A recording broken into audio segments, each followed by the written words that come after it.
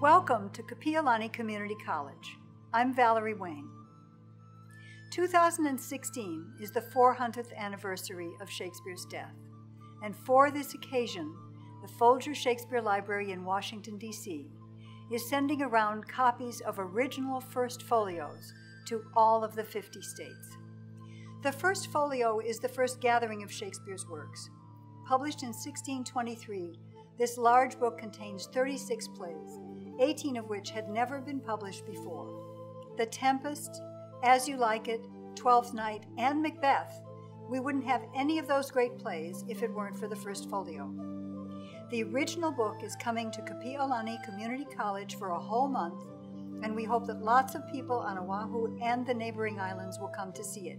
It's a totally free exhibit, and there's free parking on campus. The 1623 book will be under glass in a climate controlled container open to the most famous speech from Hamlet to be or not to be. That is the question. But you'll be able to handle a page by page reproduction of the entire first folio, along with original pages from the 1567 Geneva Bible, the one that Shakespeare read, and many reprints of individual plays published during his lifetime. We'll also have on display a translation of the whole To Be or Not to Be passage in Hawaiian, prepared for us by Puakea Nogelmeier. E nei a ole paha o ia noa ka nina.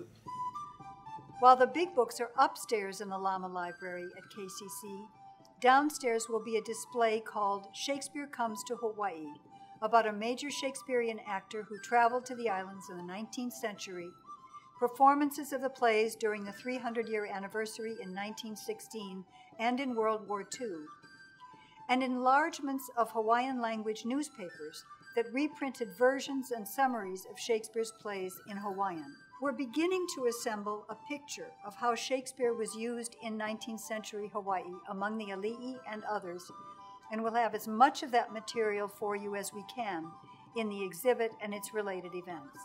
For many people, the most exciting thing about this exhibit will be the chance to get close to a 400 year old book full of amazing plays that have inspired empathy and eloquence in millions of people ever since.